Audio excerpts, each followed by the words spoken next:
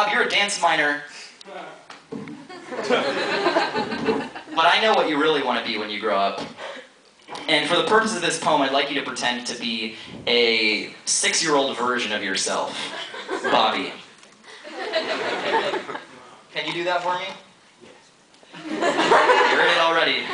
You're in it already. You're a champ. You're going to be on the Zelda screen, kid. Killing it. So, this is a poem about hopes and dreams. And Bob has told me what he wants to do, and I'm going to be honest with you, dude. It's a challenging profession that you've selected. And you're serious that you want to do this. You're serious. I couldn't take it if you were leading me on. You know, if you want to do this, you have to work until your six year old heart explodes in your chest. You can't rest until you're so tired you want to melt right into the ground. You get it? Okay, Bob, if you want to grow up to be a robot, you cannot fuck around! so you found a lucky penny. And you think you're on your way to being a metal man. But this ain't no wishing well, Abe Lincoln. It's your grandma's loose change jar, and it's gonna take you a lifetime to fill it. You gotta think like a robot. You gotta talk like a robot. you gotta move. You gotta squawk. You've got to rock like a robot. That's it. Bob, this ain't no jolly wally robo magic go go gadget habit.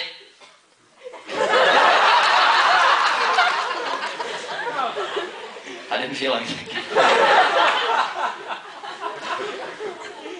it's lost lovers, lost weekends, lost hair. Bob, but if you search your soul and you find you were cut from the right kind of sheet metal, you better whisper in my ear exactly why you want this.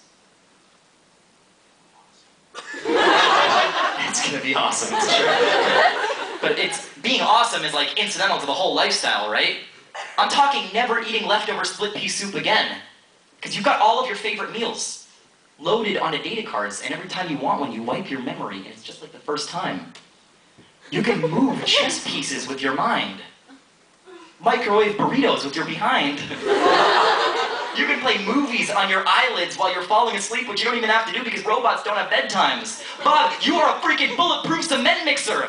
You can unscrew your arm at parties and use it to tap assholes like Bob on the shoulder. You can soup yourself up with hydraulics and bounce with cholos in the parking lot.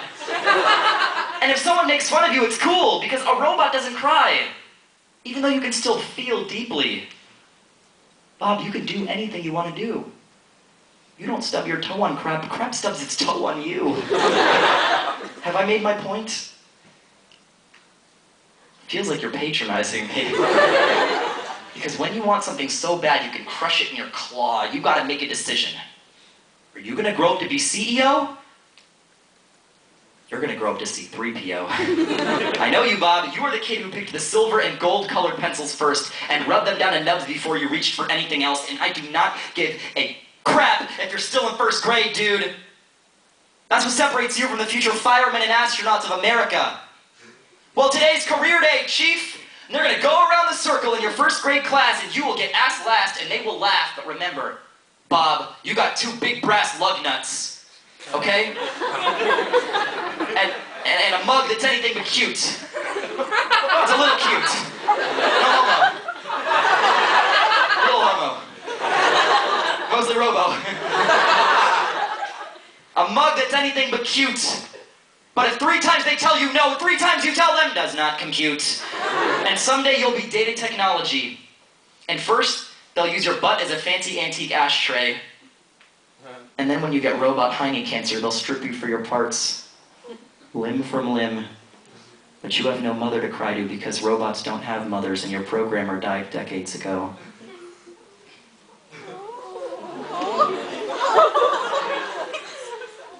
But if you can live with that harsh reality, the good times will be good. And they'll sustain you.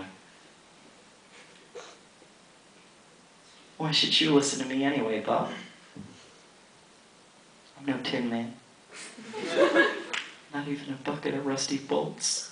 I'm just some tubby, washed up, dumb schlub flesh sack.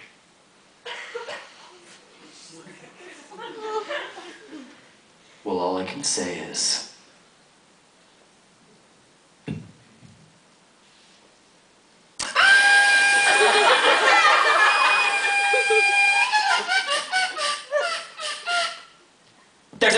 I wasn't the kettle black. It's because I'm calling the kettle cousin. Son of my auntie the oven. Tell her the living think they're above him to lick my non-stick metal crack. I can take a ton of trowel and put out, flip it to a final file well. Debated the way to convert it, bit did it with a smile. The body I've been haunted by been modified to codify a sonnet, a sonata, or a strata, or data. Yada yada yada. Got almighty by the middle man, an automatic, but he bent a let time to pull pictures from the static. Capiche, Bob? Let me tell you something about dreams, asshole. Earmuffs, motherfucker.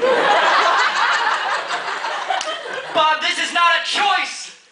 But if you were born with a control panel hardwired to your cranium, sally forth for every starry-eyed nobody who followed the bright lights to Broadway, for every wolf that ever howled at the moon, Bob, you be the droid that fills the void.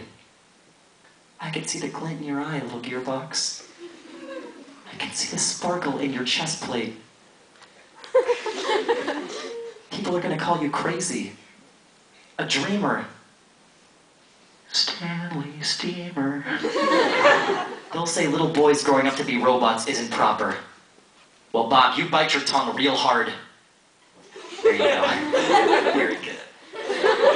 And you remember why blood takes a little bit.